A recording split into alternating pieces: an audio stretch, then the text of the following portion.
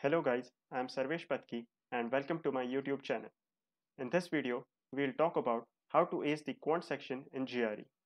I had scored 168 marks out of 170 in the quant section of the GRE with just 1.5 months of preparation. Based upon my experiences, I have compiled some tricks and tips for your preparation so that you can belt the quant section of the GRE as well. So let's get started. So first, let's uh, discuss this section pattern. So first of all, you will have either two or three sections in their test. It depends upon whether you get the research or experimental section as verbal or quant. Also, each section has 20 questions and the time per section will be 35 minutes for the quant section. An on-screen calculator will be available which can be operated using the mouse as well as the keyboard. And it is important to remember that you can solve the questions in any order. So you, you should uh, definitely skip the difficult ones and solve the easy questions in the first go. Let's move on. So uh, let's discuss the question types. First of all, you will have the select one option MCQ type of question. In this question, there will be five options out of which one will be correct and you have to correct the you have to select the correct answer choice. Next comes the select one or more options. In this question type, there will be around 3 to 7 options out of which you have to select the, all the correct ones. Note that the question may or may not mention the number of total number of correct answer options. So you have to be careful and mark all the correct answers. Next is the quantitative comparison type. In this, you will be given four options and you have to compare two quantities, quantity A and B. Option A says that quantity A is greater than B Option B says that quantity B is greater than A. Option C says that both the quantities are equal. And option D says that the relationship cannot be determined based upon the information given. So this is the standard uh, way in which the statements will appear and you should definitely remember this. Next type and the final one is numeric entry. In this question type, you will have to manually enter the answer using the keyboard uh, and the answer will be in the form of an integer or a decimal or a fraction. Note that for a fraction, you will have separate boxes to enter the numerator and the denominator. So now we've discussed the question types. Let's move on to how you should plan your preparation. It will take around 28 days or maybe a month to cover the syllabus and practice all the questions so that you are ready to take the exam. So basically, the quant section can be divided into four subsections.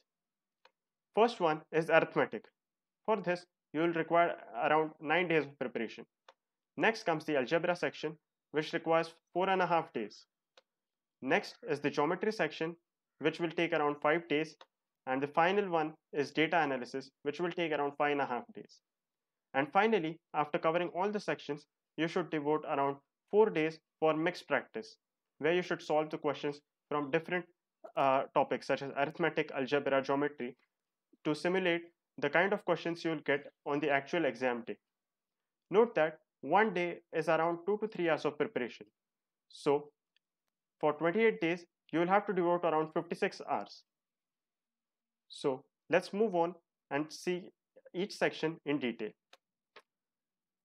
Arithmetic is a very important and fundamental part of any uh, of the quant section for any competitive exam. So I've divided into two parts, which is arithmetic 1 and arithmetic 2.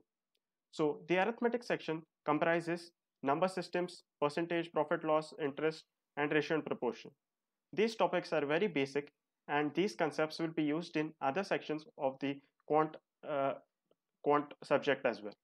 So you should cover the number line, the properties, the fractions, decimals, surd indices, factorization, and all these concepts uh, when you start preparation, start your preparation. Next comes the percentage profit and loss topic which will take around one and a half days, and the ratio and proportion, which will take again one and a half days. An important topic in the ratio and proportion chapter is mixtures and alligations. This is a special case of the ratio and proportion chapter, and you can definitely expect a lot of questions from this topic. So you should devote significant time to this and not skip this topic at all. Moving on, we have the algebra section. In this, linear and quadratic equations is a basic chapter and you should definitely devote time to solving word problems. Next is inequalities, and functions and graphs. These topics might seem difficult for students who do not have a science background, but believe me, they are very easy to understand.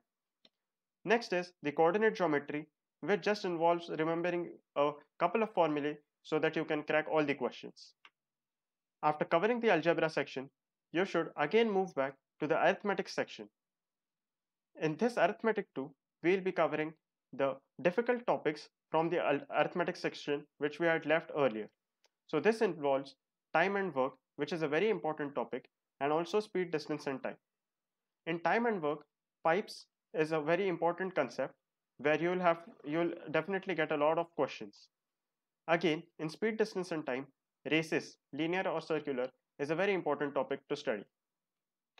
Moving on, we have the geometry section. This is one of the easiest sections of the exam. And believe me, if you know the formulae by heart, you can easily crack this section. So, lines and triangles, circles, quadrilateral and polygon, these are the basic chapters in 2D geometry. If you know all the properties, you can crack any question. But if you don't know a property, you will find it difficult to crack even the easy questions as well. So make sure that you know all the properties by heart and you can also derive the formulas in case you forget them.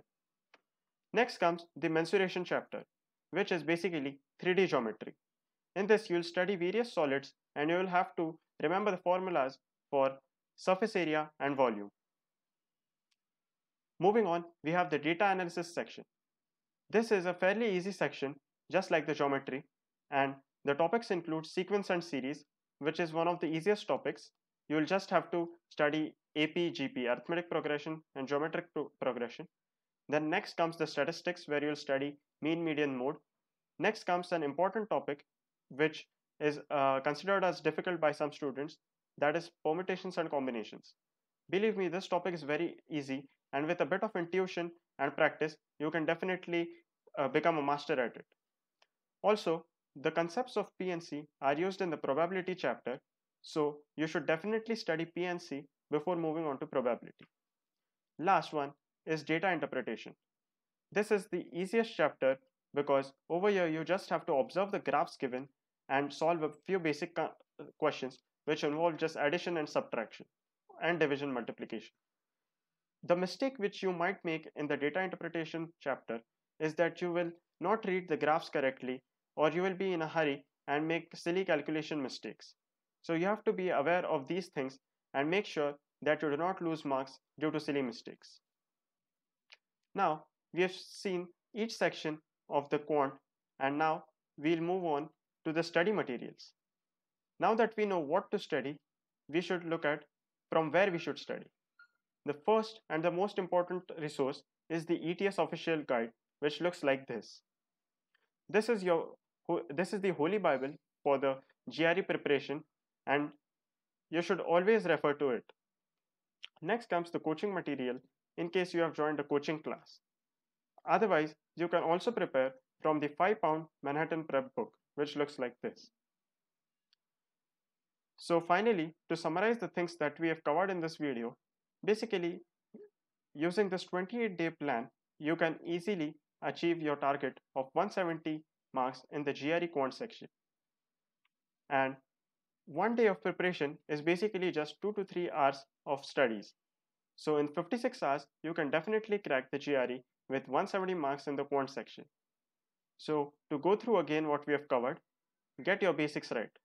Just go through the theory for each chapter and solve a few questions to get used to the concepts and to consolidate the concepts in your mind. Next is to do a mixed practice of all the questions after you've covered all the topics.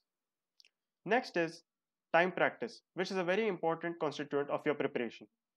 In this, you should time yourself to solve 20 questions in 35 minutes and try to simulate the actual exam day environment. And finally, a bonus tip that is to maintain a formula book, book right from day one so that as the exam approaches, you can keep revisiting this book so that the formulas are right on your fingertips. So this was all from my side. I hope that this plan helps you to prepare well for the GRE. Thank you very much for watching and please like the video in case you enjoyed watching it and it was helpful. Please subscribe to my channel and comment down below if you have any other queries. Thank you and good luck.